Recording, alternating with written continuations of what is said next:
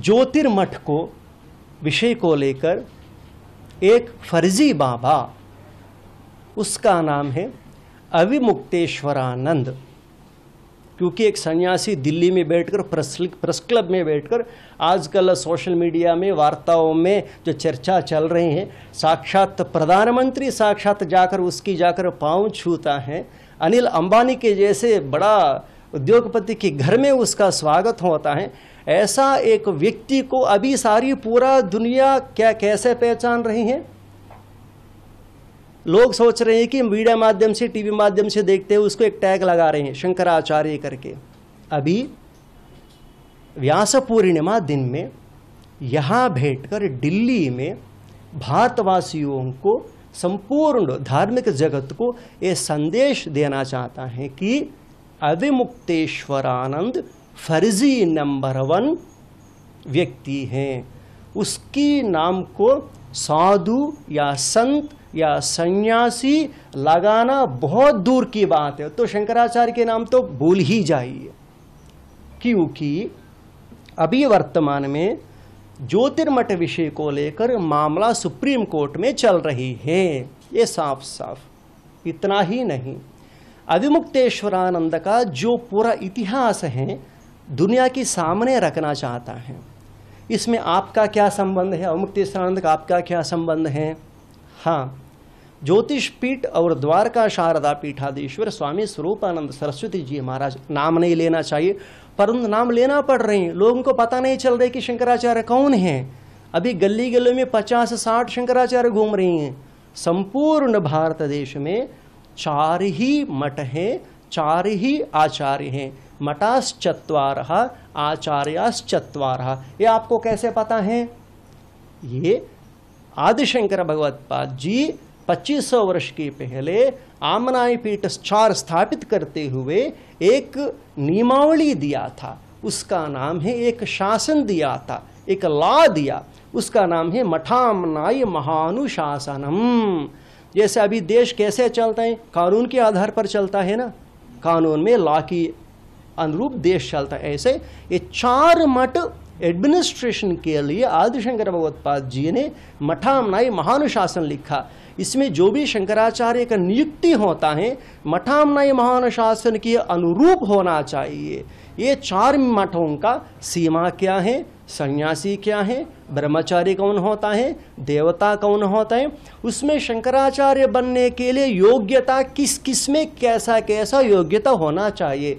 यदि कोई ढांबिक व्यक्ति, फर्जी व्यक्ति ऐसा लक्षण नहीं होते हुए कब्जा करने के लिए कोशिश कोई कोशिश करने लगा तो आदिशंकर भगवत्पाद जी ये भी लिख दिया कि समाज का पंडितों का, विद्वत मनीषियों का कर्तव्य है कि ऐसा चोर लोग। अब सावधान से सुनिए, क्योंकि हमें एक पद उपयोग कर रहे हैं। संन्यास होते हुए दूसरा लोगों को चोर बोलना उतना सम्मानजनक नहीं है, क्योंकि तो हमको भी पीड़ा लगता है। परंतु चोर चोर चोर चोर ही होता है। चोर तो पुलिस नहीं होता है ना। ऐसा चोर का चोरी लक्षण होता है। ऐसा अविमुक्तेश्वरानंद चोर, ये पद से उपयोग करने में कोई संकोच नहीं है। और पूरा देश सुनने वाले बात हैं। यदि हमारे ऊपर हमला कर दिया तो मेरे प्राण चले गए तो कोई परवाह नहीं धर्म को खड़े करने वाले। पूरा दुनिया सुन ले। कांग्रेस पार्टी वाले सुन ले। बीजेपी पार्टी वाले सुन ले। सारे मुख्यमंत्री लोग सुन ले। प्रधानमंत्री जी सुनिए। होम मिनिस्टर सुनिए, पुष्कर सिंह धाम ने सुनिए, उत्तर प्रदेश मुख्यमंत्री सुनिए, मध्य प्रदेश मुख्यमंत्री सुनिए। कौन अभिमुक्तेश्वरानंद को सपोर्ट कर रही हैं? एक डॉक्यूमेंट पर्याप्त है, पूरा, इसका पूरा कॉपी उतर जाएगा। अभी, गलत मत समझिए, हमारी गुरु जी के ऊपर भी लोग इल्ज़ाम लगाते थे, कांग्रेस का कांग्रेस का है। परंतु गुरु जी एक सिस्टमेटिक धर्म के काम करते थे। अभी अभिमुक्तेश्वरानंद को संपूर्ण रूप से बैकअप दे रहे हैं कांग्रेस पार्टी। लिख लीजिए। आप हमसे पूछे कि क्या प्रमाण है? आपकी सामने रख रहे हैं लेटर हमें। जूम कीजिए। आपके सामने रख रहे हैं लेटर।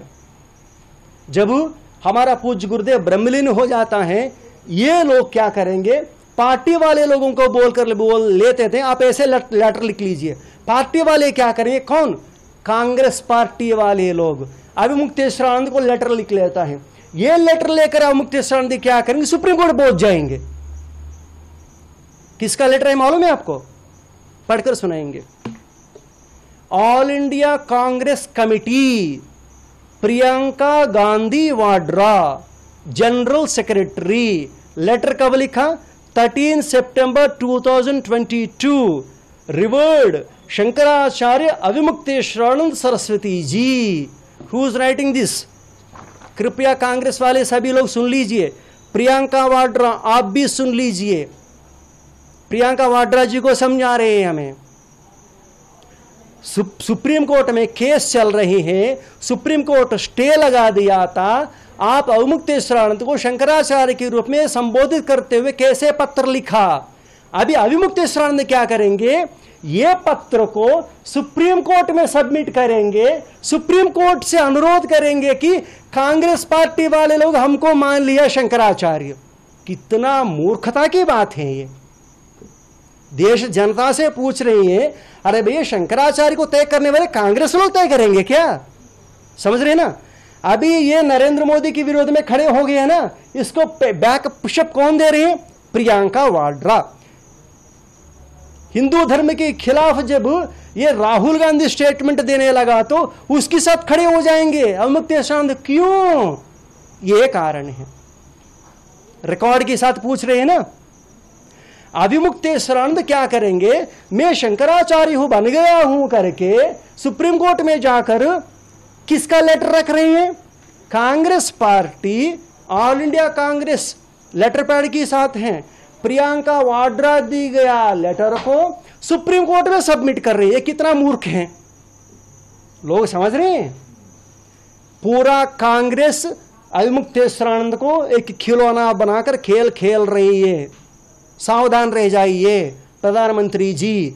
अवमुक्तेश्वरानंद के पीछे बहुत लोग काम कर रहे हैं। हमारा पूज गुरुदेव के पास आ जाते थे, बहुत लोग बहुत लोग। परंतु कुछ लोग हमारे गुरुजी को कांग्रेसी करके बोलते रहे ऐसा नहीं, हम जानते हैं पूरा इतिहास कहानी।